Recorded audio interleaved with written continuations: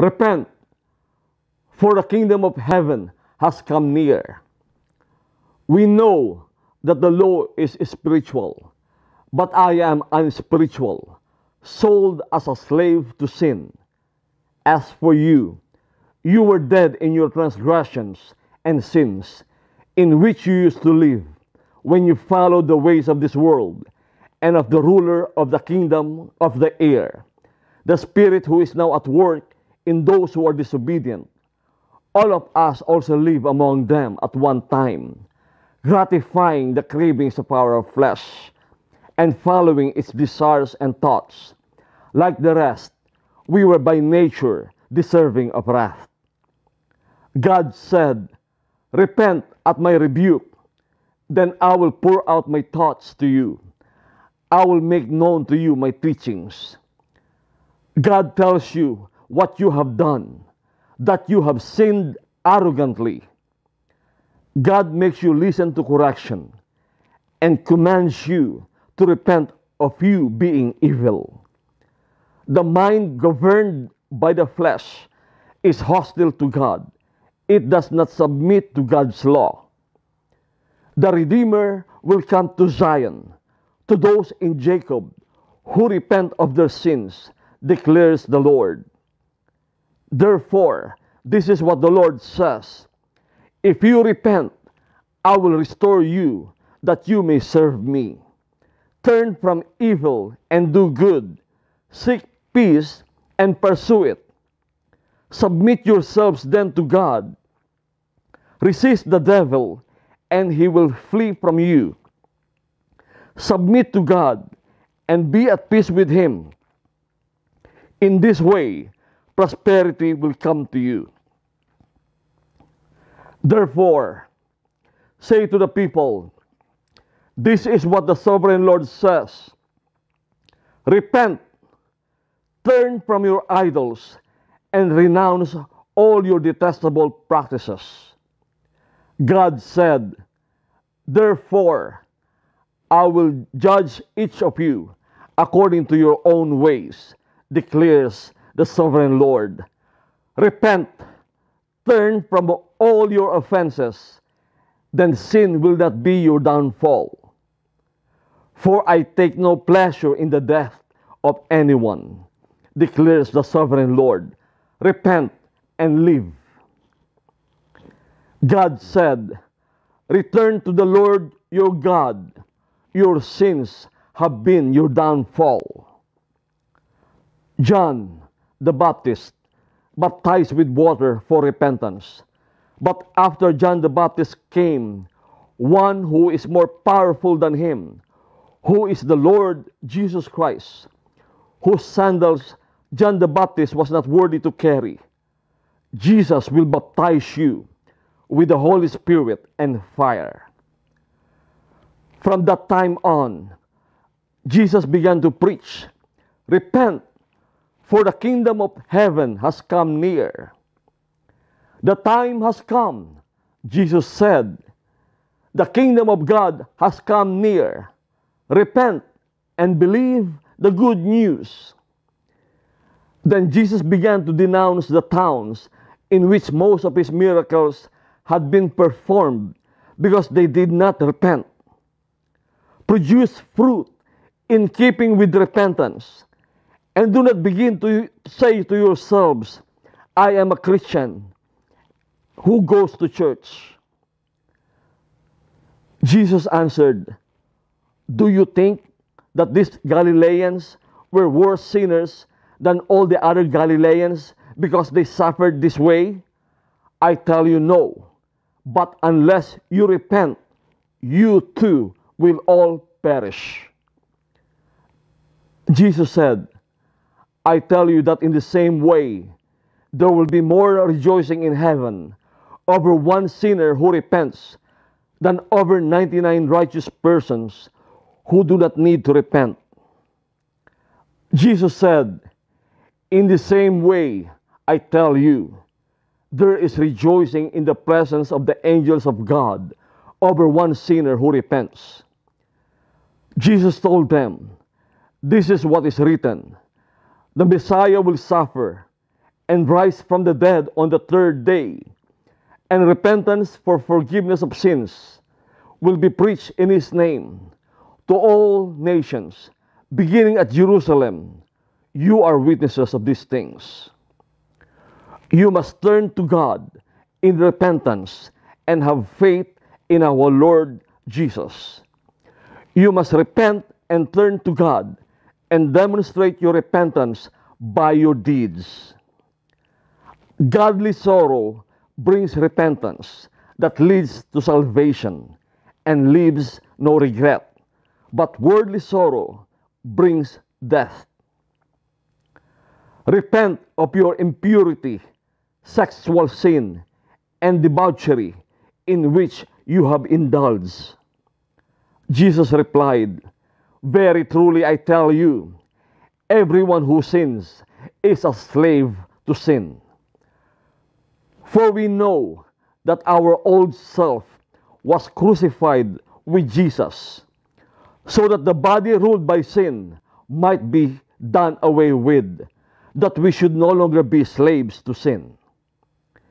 It is impossible for those who have once been enlightened, who have tasted the heavenly gift, who have shared in the Holy Spirit, who tasted the goodness of the Word of God and the powers of the coming age, and who have fallen away to be brought back to repentance. The Lord is not slow in keeping his promise, as some understand slowness. Instead, he is patient with you, not wanting anyone to perish, but everyone to come to repentance. Consider how far you have fallen. Repent and do the things you did at first. If you do not repent, I will come to you and remove your lampstand from its place. Don't you know that when you offer yourselves to someone as obedient slaves, you are slaves of the one you obey? Whether you are slaves to sin, which leads to death, or to obedience, which leads to righteousness. Jesus said to them, Go into all the world and preach the gospel to all creation. Whoever believes and is baptized will be saved, but whoever does not believe will be condemned. This righteousness is given through faith in Jesus Christ to all who believe. There is no difference between Jew and Gentile, for all have sinned and fall short of the glory of God, and all are justified freely by His grace through the redemption that came by Jesus Christ. You have been set free from sin and have become slaves to righteousness. Salvation is found in no one else, for there is no other name under heaven given to mankind by which we must be saved. For God did not appoint us to suffer wrath, but to receive salvation through our Lord Jesus Christ.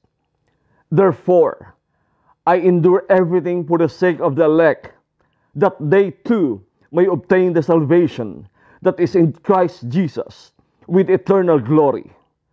But now that you have been set free from sin and have become slaves of God, the benefit you reap leads to holiness, and the result is eternal life. Knowing the Holy Scriptures, which are able to make you wise for salvation through faith in Christ Jesus. All Scripture is God breathed and is useful for teaching, rebuking, correcting, and training in righteousness. Since we have now been justified by blood of Jesus, how much more shall we be saved from God's wrath through him? Jesus said, This is my blood of the covenant, which is poured out for many for the forgiveness of sins. In fact, the law requires that nearly everything be cleansed with blood. And without the shedding of blood, there is no forgiveness. For what the law was powerless to do, because it was weakened by the flesh, God did by sending His own Son in the likeness of sinful flesh to be a sin offering, and so He condemned sin in the flesh. In Jesus, we have redemption through His blood, the forgiveness of sins, in accordance with the riches of God's grace that He lavished on us. He did not enter by means of the blood of goats and calves, but He entered the most holy place once for all by His own blood, thus obtaining eternal redemption. We believe it is through the grace of our Lord Jesus that we are saved.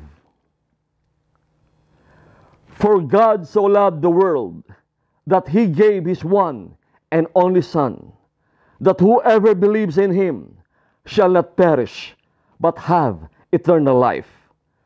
For God did not send his Son into the world to condemn the world, but to save the world through him.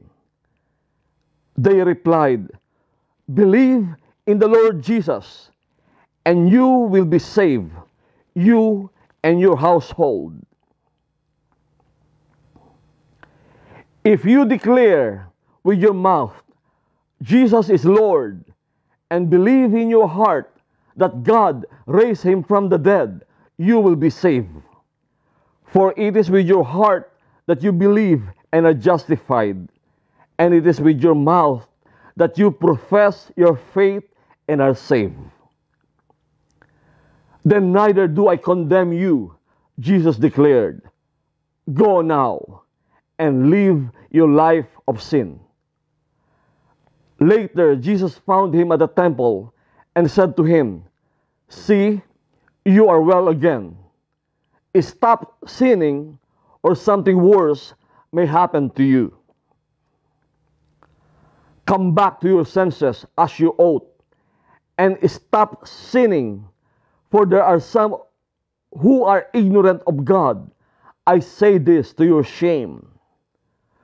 With eyes full of adultery, they never stop sinning. They seduce the unstable. They are experts in greed, an accursed brood.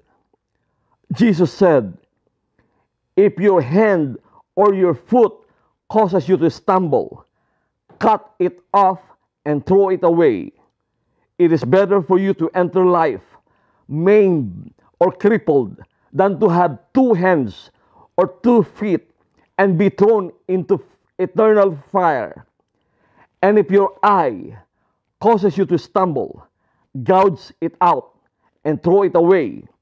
It is better for you to enter life with one eye than to have two eyes and be thrown into the fire of hell.